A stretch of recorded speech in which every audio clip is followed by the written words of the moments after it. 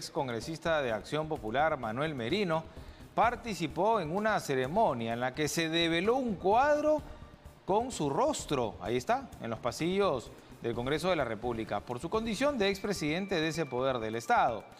En esa ceremonia estuvieron presentes, la vemos justamente la actual titular María del Carmen Alba, así como parlamentarios y ex parlamentarios. A través de su cuenta en Twitter, Merino de la agradeció la invitación para develar el eh, cuadro y aseguró que siempre defenderá la institucionalidad del Congreso. Previamente, en otra ceremonia, se develó un cuadro con el rostro de Daniel Salaverri, ahí está, posando también por su condición de expresidente del Parlamento.